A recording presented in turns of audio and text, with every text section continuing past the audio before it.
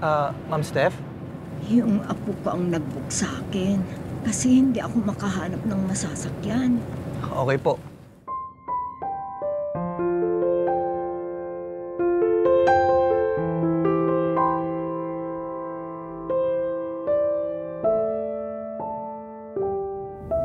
May asawa ka ba, iho? Yes po. Ito lang ang masasabi ko sa iyo. Tama sinasabi ng mga bata ngayon. Walang forever.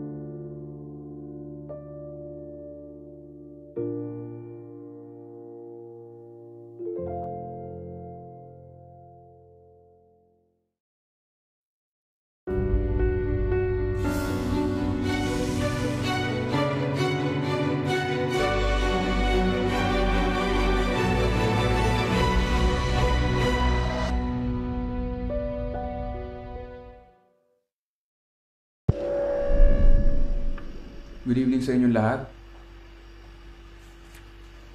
May kaibigan ako, kambal sila, pinagliis sila sa Tetris. Nagyakapan sila, bigla sila nawala. Ganyan-ganyan yung mga joke ko na nagsisimula ako ng stand-up comedy, di ba? Tapos dati, tatlo lang nanonood. Yung isa doon tatay ko, yung dalawa waiter pa. But I used to be a banker. It was my dream job. Because I was always dreaming in my job. Ay tapos minsan, pinatawag ako ng boss ko. Akala ko pupuriin ako. Sabi pag upo ko, bigla akong pinagsisigawan. Parang di ka seryoso rito. Ayaw mo bang ma-promote? Mag-promote? Pwede po ba? Sa Saturday po, 8pm, meron kaming show. Bring friends! Now, I'm a full-time stand-up comedian by choice. My boss's choice kasi sinisante niya ako. So, umuwi ako. Sabi ko, Ma, I want to be a stand-up comedian. Sabi niya, Ha? Pagtatawanan ka ng mga tao. Pero sabi ni Dad, Pagtatawanan ka ng mga tao.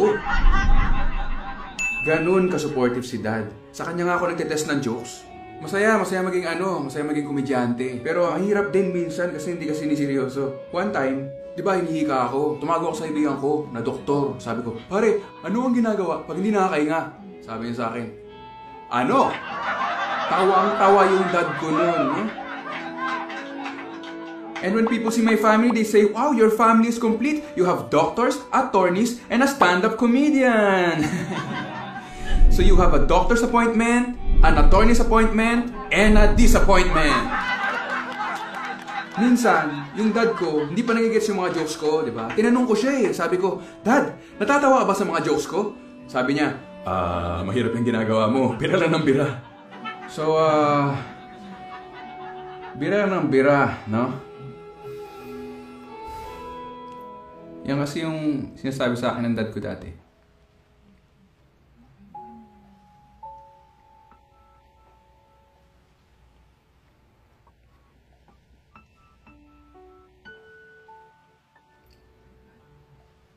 Thanks for everything, Dad. Ayun pala siya guys, palapakan natin tatay ko. Ang tagal niya kasi mag-CR eh, kinabahan ako. 65 na kasi siya eh. So, sobrang ganda ng tatay ko, yung birthday candles niya, mukha ng bonfire.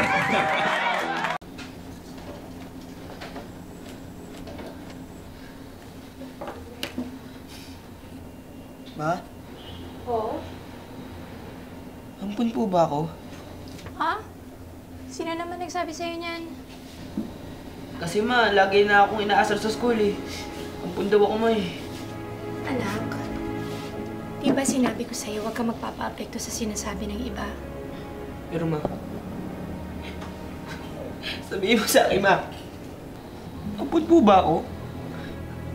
Ha? Ma! Abot ba ako? Ha? May paliwanag mo ba? May paliwanag mo bakit may apat na baso ako sa likod?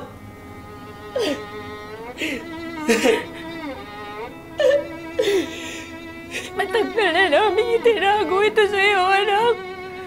Pero sa palagay ko pa na pinagmalaman mo.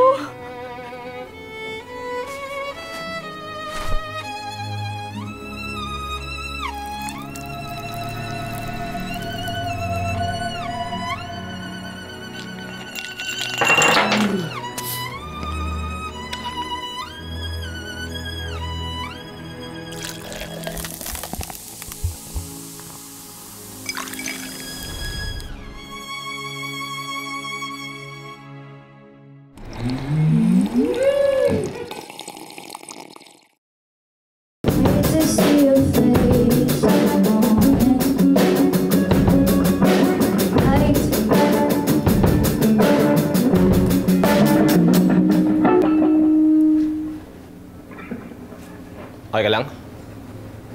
I can't do this anymore. I quit. Ha? Anong ibig mo sabihin? Limang taon na tayo magkakasama, oh. Yeah, pero never ko naman naramdaman na I'm really part of the group. Different from you guys. Ha? You'll never understand. Never understand what?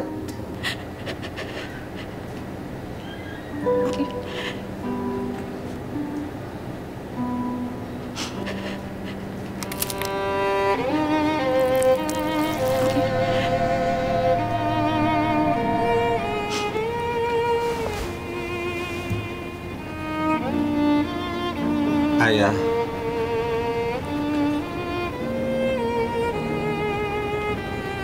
We understand.